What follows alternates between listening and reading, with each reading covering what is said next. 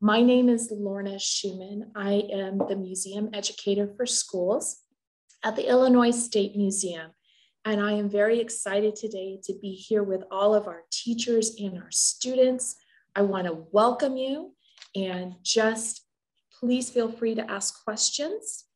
So with that, I'm going to go ahead and get started. And the way I would like to start from the, from the Illinois State Museum here in Springfield is I want to do a land acknowledgement. And I realize for many of our students, this may be something that's very new. So what I'm going to do is read what my land acknowledgement is and share with you a little bit about what land acknowledgement is and what happens. It's something that really is happening in a lot of places in Canada and in New Zealand and Australia, and is starting to take place here in the United States. So I want to honor the land upon which we are all standing today and the people who are here first in this land. We call that a land acknowledgement. And basically, acknowledgement is to say, I see you and I know that you are here and I know what happened. I understand how the first people of these lands were forced away from their home through multiple treaties or agreements and were forcibly removed from their homes. Out of respect for the people whose land that I am standing on today, I want to acknowledge or say, I see you to the people whose ancient homeland this is, which were the Peoria and the Kickapoo people. And also acknowledge that I am standing on the lands that the Potawatomi and many other people used as an area for trading and hunting. Springfield is a place on the Trail of Death on which the Potawatomi and other Native people walked when they were forcibly removed from Illinois and the Great Lakes region.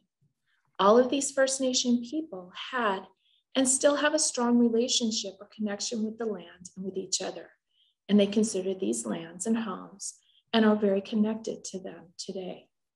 I invite each of you to learn and explore the first people who lived on the land where you are located today. And this program is one of the ways that the museum is taking action to support Indigenous or Native people of Illinois. So I thank you for letting me share my land acknowledgement with you. And I know you're all excited, as I am, to welcome Miss Nora Moore Lloyd. Miss Lloyd is an Ojibwe artist who has art related to her Ojibwe culture exhibiting right now in the Illinois State Museum in Springfield. She's one of the six artists that we're feature, featuring in the Human Nature exhibit. And so with that, I would like to go ahead and turn this over to Nora and let her get started. So Nora, please. Thank you so much and uh, Boozhoo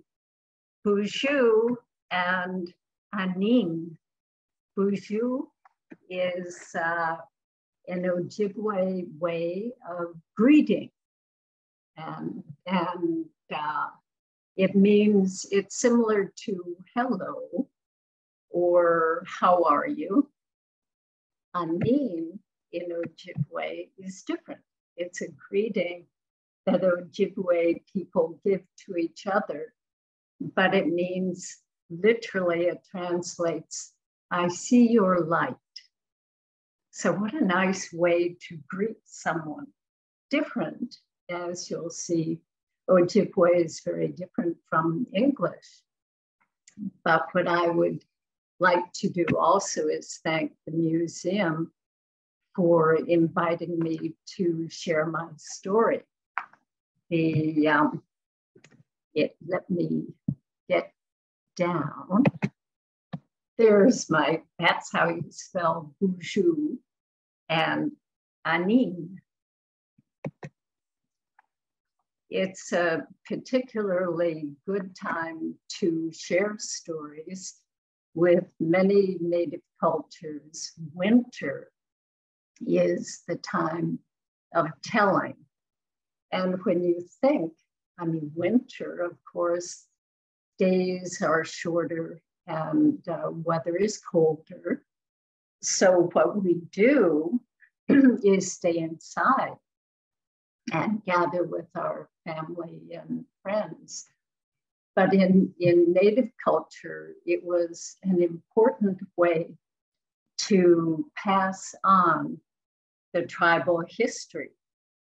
So, because for a long time, as you know, history, Native history was not written down. So, uh, people would gather in the winter, and the elders would pass on stories about their tribe's history and also about ceremonies. An important thing the younger generations knew that when they would come together, they would listen. It was important. The information being shared, the stories were important. So, so we will talk stories today. Uh, my story is an odd one because really my story is a combination of my grandmother Anna and her history, which has now become mine. Uh, she had a difficult beginning to her life. She was born on the La Coudray Reservation in Wisconsin, which is in the beautiful Northwoods, 400 miles north. Uh, she was, her father was George Barber, her mother, Goiki Gabuikwe, and Anna was orphaned young. Her father died when she was one, her mother when she was two. So she was being raised by her grandparents and her father, grandfather, Chief Blue Sky, was Jawish Jig. His wife and many, many cousins were raising her. Uh, back at, and this, she was born in 1880. That's a long time ago. And as you know, times were very different and difficult on the reservations. Uh, in those days, Native kids were, were made to go to either government schools or mission schools. In Anna's case, there was, or on our reservation, there were two mission schools. One was the Presbyterian mission, where Anna would go, was made to go. Uh, when she was approximately seven, the, that school, that little school, was closing. And the two women who ran it kidnapped essentially my grandmother. They took her from, from gorgeous forests and lakes of Wisconsin to Warsaw, Indiana, where they raised her. So that was her peculiar beginning. I created this photo collage of showing my grandmother on the left, young, teenage, and, and here, if you can see in the center, what was important to me in this collage was to show Anna holding me, when, because that really was the beginning of of our shared story. So Anna here, and then that's me at 10 months old or something. And then down here is the Anna I remember looking like most grandparents. The other side here is my 90 year old log cabin up on the reservation and and me little and and just how things how my story evolved uh, and i will talk more about uh, this photo in a moment. So, so the reconnecting, uh, my story is essentially a tale of, of after a hundred years from, from my family being gone from the reservation, I showed up and, and closed the circle. I still have cousins on the reservation. On my first trip up there, uh, our then tribal chairman is my cousin. And uh, Chief Blue Sky, my great great grandfather, was his great great uncle. To give you some perspective here, it's Anna again, her my grandfather Arthur, and just I need to throw this in. That's me, only because I had had an accident, so my hair had all been cut off. I mean, you, you would think that's a boy, but that's me. And again, uh, as a young woman, but think how different. I mean, this is after she was living with the missionaries. Had she still been on the reservation, she would not look, she would have long hair, I'm sure, braids, and and her Ojibwe clothes. And not, she would not look like that. What started uh, this whole search, my mother, who was not native, had been tracing her genealogy. And when Anna was alive, mother said, you know, hey, I think I'll I'll trace your family. And what was your maiden name? Anna replied, Blue. She said her maiden name was Anna Blue which of course came from Ujawashkuki Jig, blue sky. So, uh, so mother then, and this way before ancestry.com, but uh, mother wrote to the town of Hayward, which butts up to the reservation for birth records. They didn't have me, the county didn't have me the state didn't have me. One of those three said, said, why don't you try Lac-Courte? I mean, the governor, there should be birth records on everyone. If you're not finding it, try Lac-Courte. And of course, everything was there.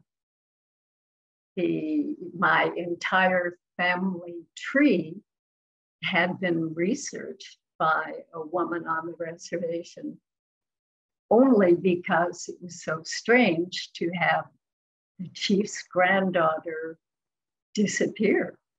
I mean, Anna went to school one day and never came back. I mean, she, they took her to Indiana.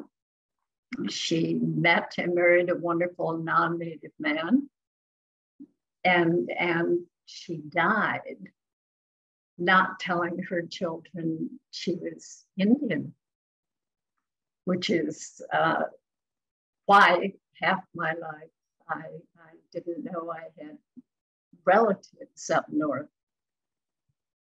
This speaks to um, the missionaries evidently thought they, they were doing something good in taking this child from her home and big family to a different state, hundreds of miles away, and, and made, raised her trying to be non-native.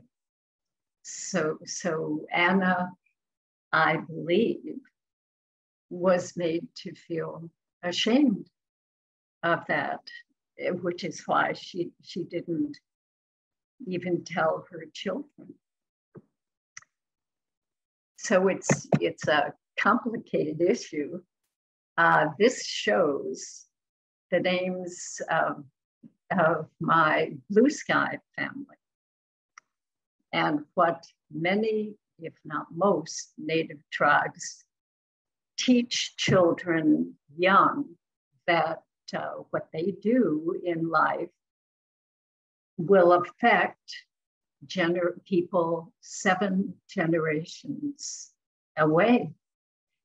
They're taught that they have a responsibility, we all have a responsibility to, to know that what I do today can affect seven generations later. And, and actually, I now know. I mean, look at that, that's seven generations, beginning with me down here, my father, Anna, her mother, Gwaiki Gabawikwe, then Chief Blue Sky, Jig, and his father, Wei Wei Sins, and then, and I'm not sure on the pronunciation of the next one. So, with that knowledge, uh, oh, and I thought I'd share with you this is my three greats, great, great, great grandfather. And here is Chief Blue Sky, who, who was raising, and his wife and other kids were raising Anna until uh, she was taken. And he was he joined a group of other Ojibwe chiefs when they went to Washington in 1880, which I'm assuming was, was part of protesting against the upcoming 1887 Dawes Act, the Allotment Act.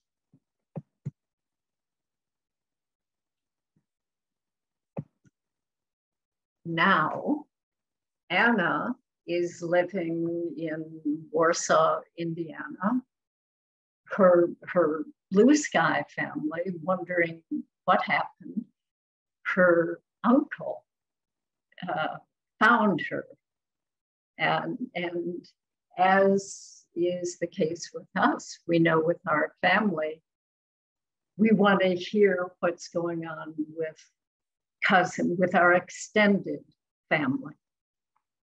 I mean, that's why we have Facebook now or Instagram. We have all different ways to stay in touch.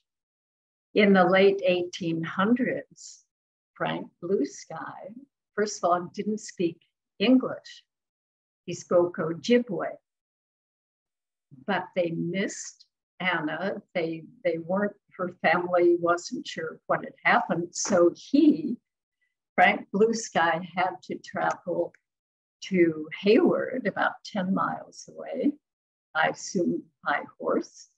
Uh, he had to speak the word, what he wanted to say to a translator who then wrote down the words and then Frank Blue Sky copied them.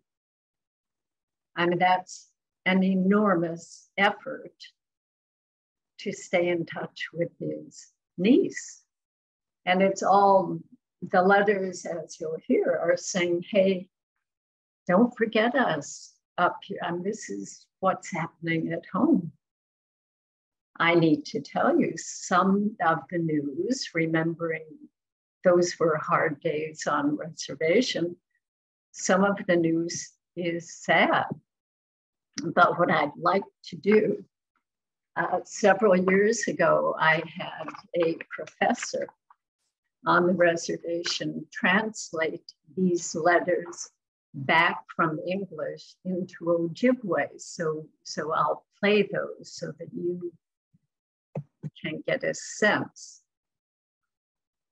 Uh, what I'll go through these quickly and look at the handwriting. I mean, now in the days of text, you don't see beautiful script like that. And again, remembering the effort it took for him to copy the English, and this from 1892. And let me read this one because it's hard to read. Nora, we do have one question. The, question, right.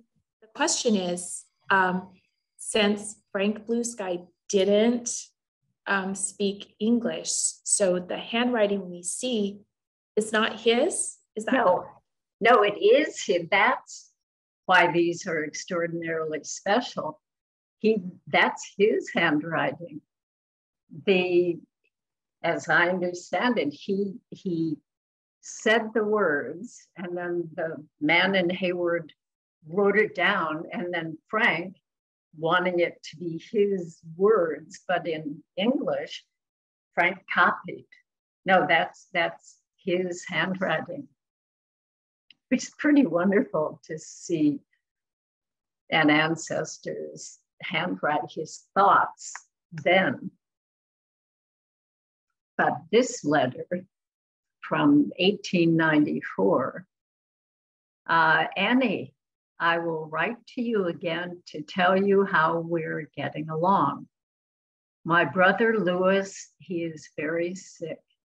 I could not to do anything on the farm. I went fishing this morning. I catch 33 nice bass and I went on the Chief Dam. This afternoon, I saw a large crew of men driving logs on the river. I just came in 20 minutes ago. This just five o'clock. Goodbye. Your uncle, Frank Blue Sky. And I wanted to read that because not a whole lot else was going on on the reservation then. I mean, it, it was a pretty simple life. And yet he wanted her to know that he caught 33 bass and where he was and what time it was, and that he was thinking of her. Now, this of the six, this letter I find to be the most meaningful. And this is written uh, just two months later. And let me read it to you. My dear niece, I take the pen and ink to write to you with sad news. Poor Lewis, my younger brother, he is dead. Half past seven yesterday evening. Most my tears burst every minute, and I could not write very well, my eyes so leak. And he said before he died, I got pure white wings, I think. God bless me. From your uncle, Frank Blue Sky. What, and that clearly in English is uh, is different. I mean, the word, his word choice. Most my tears burst every minute, and I could not write very well. My eyes so leak is beautiful, I think. What I would like to do, if it works here, is to play it for you in Ojibwe. Letter three. Glover, Sawyer County, Wisconsin. Ishwasago Nagizedo, Deyaminigizes, 1894. neshemes ojibegana kminoa ojibeganabu Manajamo damanajamotunan nimishesh Louis, Yeshqua Yashig, in Yashigini Jwasa de Boyagani Pijinago, Gionago Shig Nabashkade Mendasa de Boyagans famous egg Nimbwana Watun de Minobia Gayan Wenda Zingingwe Sayan Mishka Kiddo de Buanabut bud, ne wabish kiningui ganabach, ne jawena meg manidu. Yejishe, Frank Blue Sky. What I would like to point out to you, going back to Frank Blue Sky writing these, if you hear the content and look at that letter, which is a, a copy of his letter, those three splat, those are his teardrops. I mean, he was crying when he wrote because in in the in 1894 he was using a fountain pen. So so the tears splat made splotches on his ink there.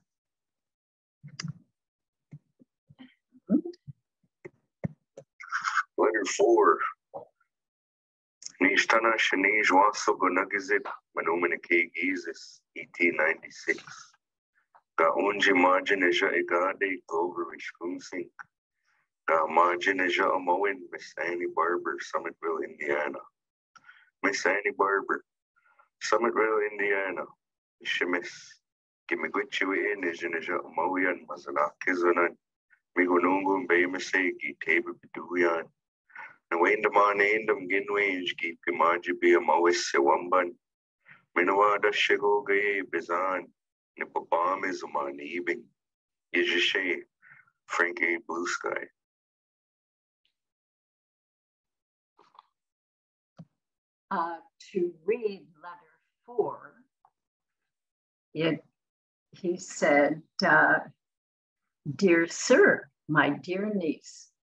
I am very obliged to you for your pictures, which are, I received them this week.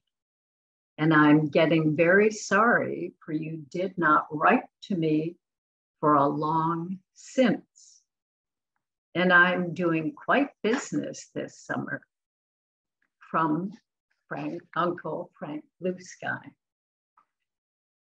So what I take from that is, is they are still missing her. She left a hole in, the, in her community. And one other letter I would like to read. Just to, let me see here.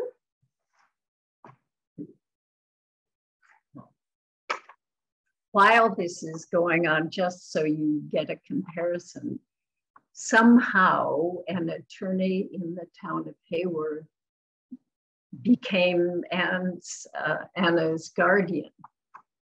So in 1892, Anna, with the missionaries, uh, wanted to take piano lessons and evidently felt she had to ask permission. So the attorney sent her this letter back and just listen to the different teachers, listen to this grammar. Dear little Annie, your letter of March 25th last is received. I was very much pleased to hear from you. And judging from your letter, which was very nicely written indeed, I should say that you are improving your time at school. It is fortunate for you that your home and surroundings are so pleasant, and you must give heed to the good advice given you by Mr. Doherty's family. I know you will. If you wish to take music lessons, you may do so. I presume, of course, you have consulted Miss Doherty, that's the missionary, about this matter it will perhaps become necessary for you to work a little harder when you take up music so that you won't get behind in your schoolwork. A little more here. You did not tell me in your letter the kind of instrument you desired to learn to play upon. Who will give you the music lessons? I would prefer Miss Doherty to anyone else if she will give you the instruction. Finally, write me another letter soon. I wish you success in your study of music. You must work hard and strive to become a good musician and good scholar, so we all will be proud of you. Your guardian. Quite a difference in tone, don't you think, from, from this affectionate, loving, her uncle sent her to you better study hard. So this was the atmosphere that Anna was living in. Uh, just a few photos. Here she is, just to show you that um, these are kind of normal high school things. There's Anna and Anna and Anna. And just briefly, meanwhile, of course, my grandfather was around. Uh, he was born in 1881. Here he is. I wanted to show you these, not because family photos or or vacation photos can be less interesting for non-related people, but to show you what what people in the late 1800s how how they posed for their important family portraits. I mean, now we all have selfies. Here they put on their best clothes and probably for a long exposure had to sit for two minutes or so. But I point it out also, and this is the late 1800s. I'm not so ancient, but I knew three people in there. I miss my grandfather. And his, I knew my great aunts, and this one lived to be 101. So my point is all of this story isn't so long ago. Moving on. And then fine. the next generation, I mean, is my father here. He was born in 1906, so this is probably 1908. What a change. Then in 1983, when I discovered uh, Lac Courte Oreilles and my ancestors' Pipe Mustache, who was the tribe's oldest elder and our spiritual leader. I met him on the first trip. And, and he said, Well, what, what do you know about us? And I said, Well, nothing. And he said, You're right. And I will teach you. I mean, you need, he said, Why don't you spend six months up here. I will teach you about it. And of course, I was working at the time and, and couldn't. But uh, we spoke every month. He decided two years later it was time for me to, to have a name, an Ojibwe name, because uh, in our culture, when when you pass on, the creator will know you by your spiritual, your Ojibwe name. We had a, I don't want to run out of time here. My my name, the name that Pipe awarded me is Gog, G A A G, which means porcupine uh, I didn't, I had never been to a naming. I didn't know the protocol. When, when you read story fiction, uh, I don't think I had ever seen reading about native thing written by non-native people. I never saw Gog used as a name, so it, it caught me by surprise. Joe Homesky, another elder on the reservation, who sponsored me said, because I think I may have bristled when, when Pipe said Gog at the naming ceremony. So Joe stepped out and he, he said, Well, let me explain where this comes from. Pipe had taken the tobacco I offered him and smoked it.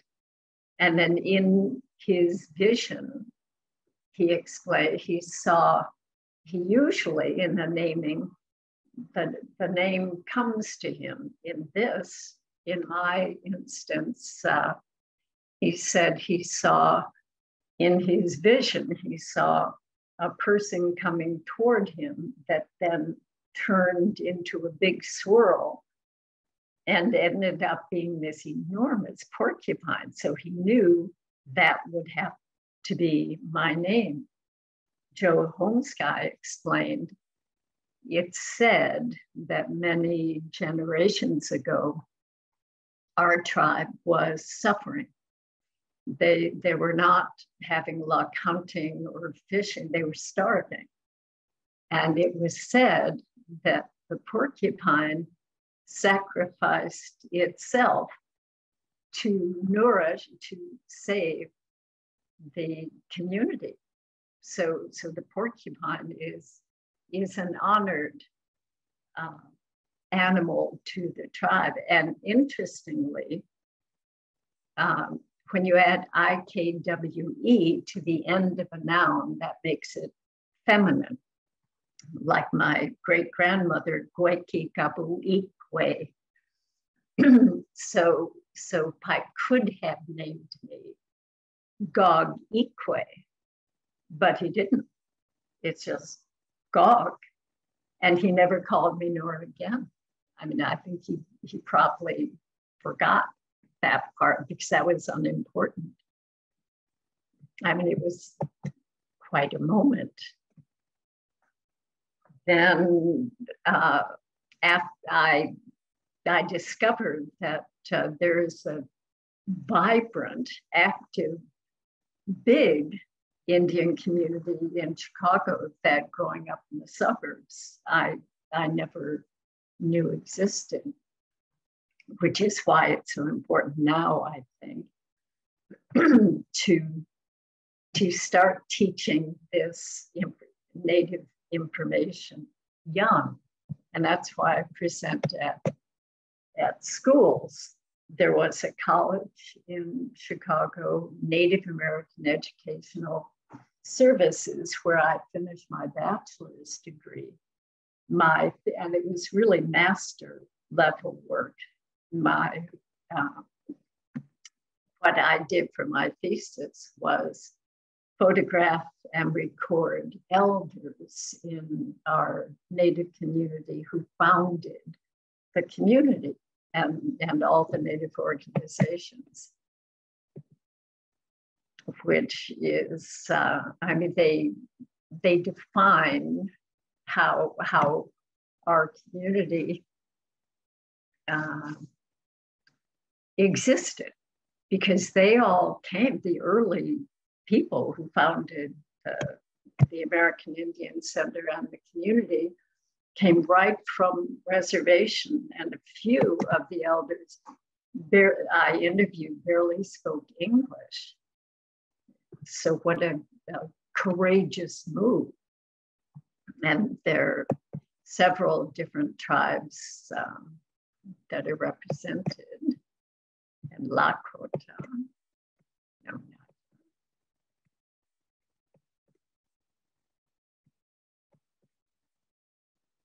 And to that point, there's an article in the Chicago Tribune that they had interviewed Angie, who became, all of these elders became dear friends of mine. But here, uh, Angie says it best about uh, how, on, how Chicago was. She said, we're all American Indians, and there is a good feeling when I'm among my people that's important because the Chicago's American Indian Center and community is multi tribal. we have Navajo, we have Lakota, we have Choctaw, and, and we have tribes from the east and mostly Midwest, Lakota, Dakota, Nakota, Ojibwe, but and and Oneida and Ho-Chunk, and she was Ho-Chunk. But her feeling, I mean, that sums it up that uh, we're all we're all one, we're all native.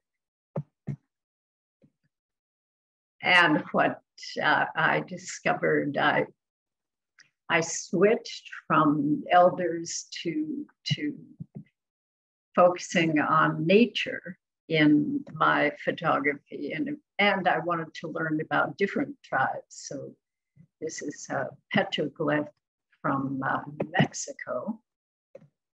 And, and hawks have become pretty important to me. Uh, the Ojibwe believe that hawks are messengers from, from people who have passed on.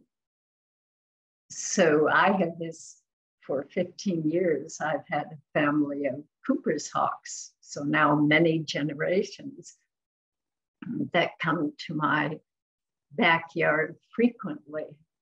Uh, so I thought I'd show you some of those. This you will see in, um, this is a photo, the color photo is from my, from the Coudray, showing how birch bark is harvested every spring. And the other side of this banner, which you'll see in the museum, is a photo from 1909 taken in a neighborhood uh, five minutes away from me. But look at the birch trees. Again, it's in 1909, you are seeing signs of where the native people who lived here before all the current residents, where they harvested birch bark. I had uh, these photos in a show in a small gallery here because I know people living there now never think who was here before. Uh, so I, I, wanted to point that out. Nora, and, yes, we have a couple of questions. Um, Great. One is does taking the birch bark off the tree hurt the tree? So that's one question. And then the other one is kind of related to it is they're curious what kind of tools um, your people used and how they were made. The birch bark, uh, when they harvest birch bark, it doesn't hurt the trees. They know exactly how deep to go, and which isn't very deep. And and when to do it in the spring. I think when it's after the sap has started running, I would guess. And then they carefully peel it off. Uh, and and that was birch bark was used for canoes. I mean, birch bark was an important um, element of life for canoes, which for the Ojibwe was their main mode of transportation, and also for wigwams, where they would stretch the bark over saplings. They, I have seen on the reservation really, really tall old trees that way at the top show the marks of harvesting. So, so that had to have happened 80 years ago. So it uh, no, they they know. I guess they learned through experimentation hundreds of years ago how deep to do it and how far to space it. And, and now they use just very sharp knives. Good question. And the other question was what kind of tools do your people use and how were they made? Uh, see, I, I don't know how they were made originally. Obviously, they were metal. And now they are just very sharp metal, um, almost like a, a big X-Acto knife would be my my guess. That that video in the museum exhibition shows the harvesting that maybe we could share at some point with uh, classes.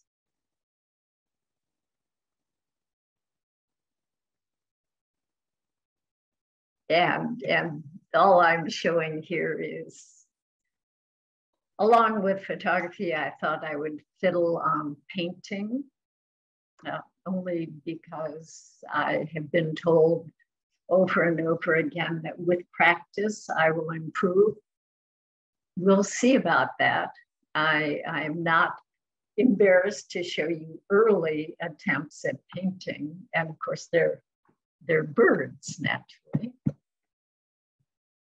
Finally, miigwech, which is thank you in Ojibwe, and also just like the word for hello is different, there isn't a word in Ojibwe for goodbye. Gigawabaman means I'll see you again. It isn't goodbye, or it's I'll see you again. Gigawabaman. So thank you. I'm aware. Um, I'll check and see if there are any other questions. But I think one of the questions about the tool, what other types of tools did people use in their normal everyday life? Mostly bone. They, for example, when uh, when they harvested a deer, then they uh, because many of their clothes were made from deer hide, that the shin bone of the deer was used to scrape uh, to get the the fur off. So bones were, were sharpened. I know thin bones were used for sewing. Um, stone, of course. And, and that's all I can think of. Okay. Well, miigwech, thank you so much for all of your time, Nora.